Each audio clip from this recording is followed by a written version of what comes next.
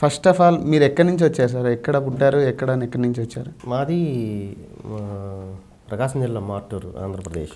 Okay. అక్కడి నుంచి వచ్చాను. ఎడ్యుకేషన్ అంతా అక్కడే సొంత ఊరి దగ్గరే. అక్కడి నుంచి గుంటూరులో చేశాను ఒక త్రీ ఇయర్స్. ఆ తర్వాత ఇక్కడికి వచ్చాను ఇండస్ట్రీకి. Okay okay. యాజ్ ఏ రిపోర్టర్గా చేశారు సార్? లేదండి. అంటే జర్నలిజం చేశాను కానీ చేయలేదు. బయటకు వచ్చిన తర్వాత జర్నలిస్ట్గా చేశాను. ఇక్కడ ఇండస్ట్రీకి వచ్చిన తర్వాత మ్యాగజైన్స్లో చేశాను. హైదరాబాద్లో? హైదరాబాద్లో. Okay okay. అంటే జర్నలిస్ట్గా మీరు న్యూస్ న్యూస్ న్యూస్. అది రాయడం. న్యూస్ అవునవును. Okay, articles news. Okay okay. మీ mother father? Mother father mother house wife. Okay. Father చిన్న బిజినెస్ ఉందన్నమాట. Okay okay. మీరు ఒక్కరేనా సార్? మీ- బ్రదరు నేను మా సిస్టర్. Okay okay. తర్వాత మరి ఈ మూవీ ఫీల్డ్కి ఎలాగా మీరు డైవర్ట్ అయ్యారు మళ్ళీ? ఎందుకంటే నేను జర్నలిస్ట్గా చేస్తున్నప్పుడు ఇంట్రెస్ట్ కలిగింది. ఓకే. ఇక్కడికి వచ్చిన తర్వాత అలా అలా వచ్చేసాను అనమాట నేను. ఓకే. ఫస్ట్ స్క్రీన్ ప్లే రైటర్గా వచ్చాను. ఓ. ఆ తర్వాత డైరెక్షన్ డిపార్ట్మెంట్ జాయిన్ అయ్యి ఒక త్రీ ఫిలిమ్స్కి చేశాను డైరెక్షన్ డిపార్ట్మెంట్. ఓ. అక్కడి నుంచి మరి అంటే మీరు డిగ్రీ చేశారా లేక బీటెక్ లేదండి మీరు స్టడీ? బిఏ అయిపోయింది. బిఏ అయింది. మరి బిఏ అయిన తర్వాత మీరు జర్నలిజం చేశారు జర్నలిస్ట్గా వెళ్ళారు. మళ్ళీ మూవీస్కి టర్న్ అవ్వాలి అనే ఒక థాట్ ఎక్కడ స్టార్ట్ అయింది? ఎవరి నుంచి వచ్చింది అది? అంటే ఇన్స్పిరేషన్. అంటే ఇందులో ఒక ఫెసిలిటీ ఉందండి మూవీస్ అంటే ఒక మన సొంత ఎక్స్ప్రెషన్ని మనం ప్రజెంట్ చేయొచ్చు. అవును. సో ఆ రీజన్ ఒక్కటే అనమాట ఓకే. సొసైటీని స్టడీ చేస్తున్నప్పుడు కానీ ఓకే. మనకంటూ కొన్ని అభిప్రాయాలు ఉంటాయి ఓకే. వాటిని కరెక్ట్గా చెప్పడానికి సినిమా అనేది ఒక వేదికగా ఉపయోగపడుతుంది. ఓకే. అది నాకు నచ్చింది అనమాట ఇప్పుడు మళ్ళీ ఇక్కడికి వచ్చి మీరు జర్నలిస్ట్గా చేశారు. ఓకే బాగానే ఉంది. ఆ, దీని తర్వాత ఎప్పుడైతే మీరు డైరెక్షన్ ఫీల్డ్కి అంటే సినీ ఫీల్డ్కి వెళ్ళాలి అనుకున్న తర్వాత ఎందుకంటే టోటల్ చేంజ్ అవుతుంది. ఇప్పుడు దాకా మనం ఉన్న సిచ్యువేషన్ ఒకలా ఉంటుంది. ఇక్కడ నుంచి డైరెక్షన్ అనగానే సిచ్యువేషన్ మారిపోతాయి. లైక్ మన ఫైనాన్షియల్ ఇది కానీ ఇదంతా చేంజ్ అవుతుంది. అండ్ లైక్ కృష్ణానగర్ కష్టాలు అంటారు.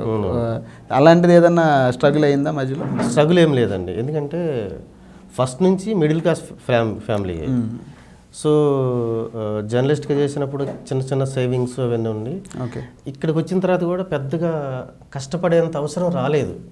ఉన్న కాంటాక్ట్స్ కానీ ఫ్రెండ్షిప్ ఫ్రెండ్స్ కానీ అంటే యాక్చువల్లీ మీరు జర్నలిస్ట్గా చేశారు కాబట్టి కాంటాక్ట్స్ ఉంటాయి. అవునవును. Okay okay. నాకు అంత కష్టపడాల్సిన ఇది రాలేదు. Okay okay. సో కష్టం అంటే సినిమా అంటే ఇష్టం.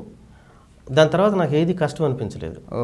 సినిమా వదిలేయాలన్నప్పుడే కష్టంగా ఫీల్ అవుతాం అవును. సినిమాలో ఉన్నప్పుడు ఇక ఏది కష్టం ఉండదు. అన్నీ ఇష్టమే ఇంకా అంటే స్ట్రగుల్స్ అంటే ఇప్పుడు ఏదైతే కొత్తగా వద్దామన్న డైరెక్టర్స్కి కొన్ని స్ట్రగుల్స్ అనేది ఖచ్చితంగా తీసుకోవాల్సి ఉంటుంది. ఏదైనా మూవీ స్టార్టింగ్లో కానీ మూవీ ఓకే అయిన తర్వాత కూడా డైరెక్షన్ అయ్యి అది కంప్లీట్గా వర్క్ అయ్యి బయటకు వచ్చే వరకు కూడా కొత్త డైరెక్టర్ అనేవాడికి ఒక ప్రెజర్ అనేది ఉంటుంది పైన. అవునవును. అలాంటి ప్రెజర్ ఏమైనా మీకు పడిందా?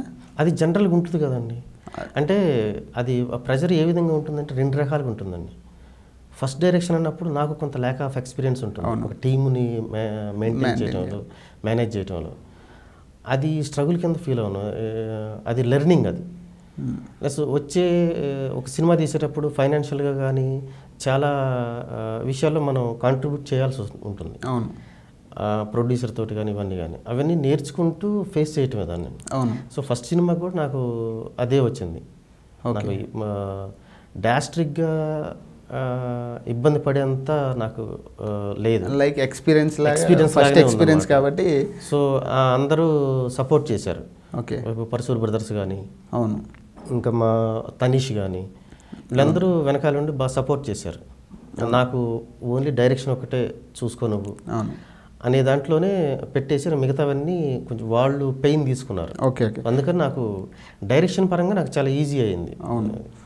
అండ్ మీరు ఫస్ట్ సినిమా రంగు అనే మూవీకి కొన్ని కాంట్రవర్సీ అయ్యింది. అసలు ఆ స్టోరీ ఎలా వచ్చింది మీకు అసలు? అంటే ఆ స్టోరీ తీయాలి పర్టికులర్ స్టోరీ అని చెప్పేసి. అంటే నేను అంతకుముందు ఒక సీరియల్ డైరెక్షన్ చేశానండి. ఓకే. ఆ సీరియల్ డైరెక్షన్ చేసినప్పుడు అందులో ఒక టీం పరిచయం అయ్యారు. అందులో అందరినీ థియేటర్ యాక్ట యాక్టర్స్ని తీసుకున్నాను. Okay okay.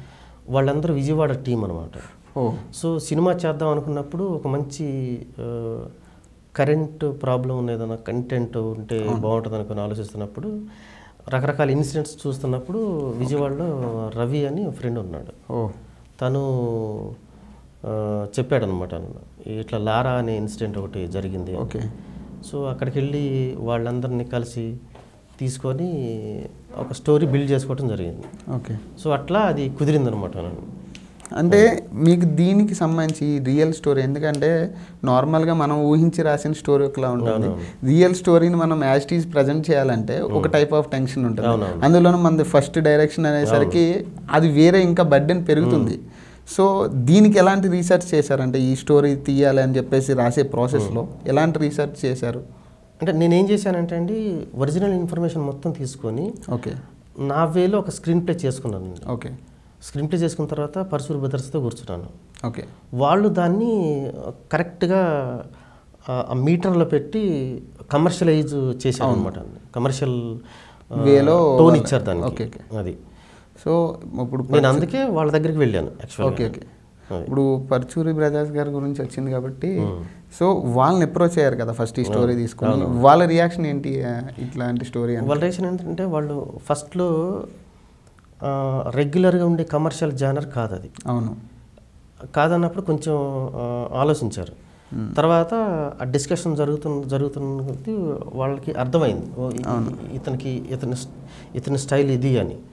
సో అక్కడి నుంచి వాళ్ళు బాగా సపోర్ట్ చేశారనమాట ఓకే ఓకే. టిల్ ఎండ్ వరకు కూడా అంటే ప్రతి సీన్ దగ్గర కానీ దగ్గరుండి డైలాగ్స్ కానీ దగ్గరుండి చూసుకున్నారు అనమాట స్క్రిప్ట్ వైజ్ ఓకే. ఓకే ఈ స్టోరీ ప్రాసెస్లో అంటే మీరు కొంత రియల్ స్టోరీని తీసుకునే ప్రాసెస్లో మీరు ఏమైనా కొత్తగా దీంట్లో నేర్చుకుని చేసింది ఏమైనా ఉందంటే ఈ స్టోరీ బట్టి మనం చూస్తున్నప్పుడు కొన్ని కొన్ని స్టోరీస్ చూస్తుంటే మనకి కొంత లెసన్ అవుతూ ఉంటుంది సో అలాంటిది ఏదన్నా మీకు అనిపించిందా మధ్యలో? అంటే ఆ నేను స్టోరీ రాసేటప్పుడు కాదండి లారా కథ విన్నప్పుడే అనిపించింది నాకు. అంటే ఎమోషనల్ ఇన్బ్యాలెన్స్ అనేది మనిషిని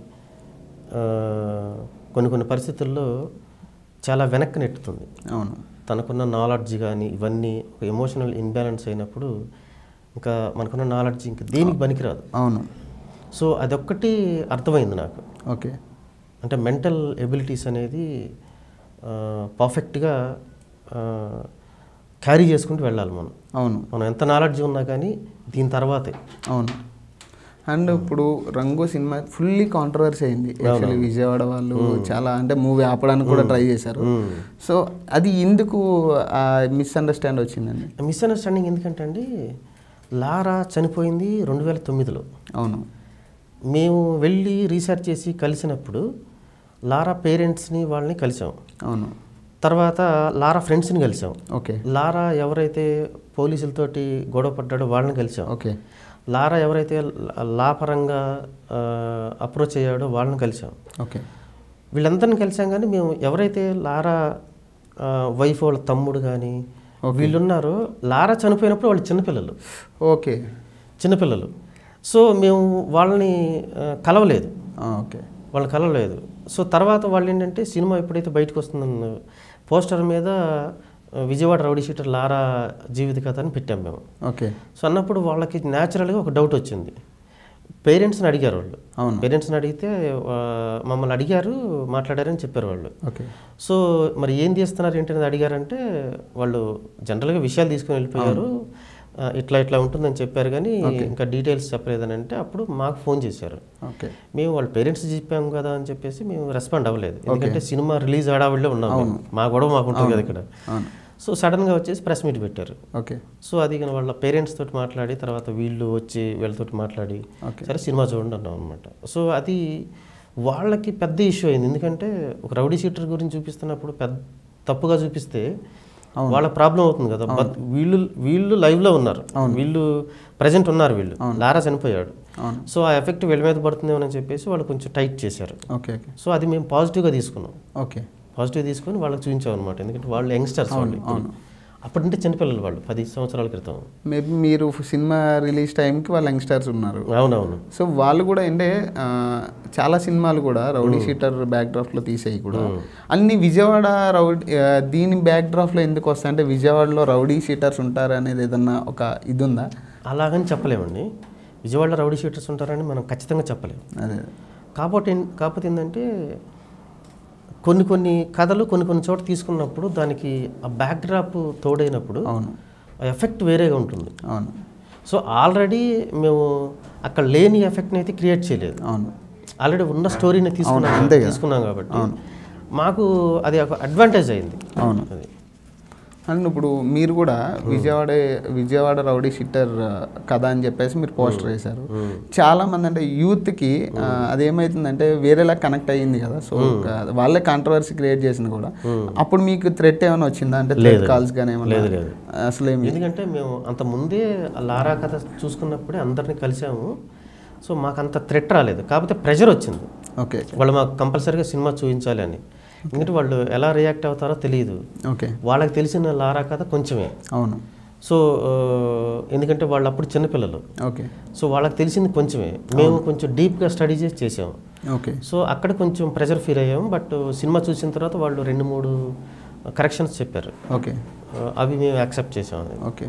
అవి కరెక్షన్ చేసిన తర్వాత వాళ్ళు సినిమా చూసాక వాళ్ళ ఫీలింగ్ ఏంటంటే అంటే సినిమా చేసి సినిమా చూసిన తర్వాత రెండు మూడు చోట్ల వాళ్ళకి అబ్జెక్షన్ ఉంది. ఒక రెండు డైలాగులను రెండు షార్ట్లు అవి తీసేసాం okay hi this is Anand Devarakonda please subscribe to Mirror TV hi this is Arya please subscribe to Mirror TV hi everybody this is Tarun please subscribe to Mirror TV నమస్కారం అండి. నేను మిషివాత్మిక Rajasekhar.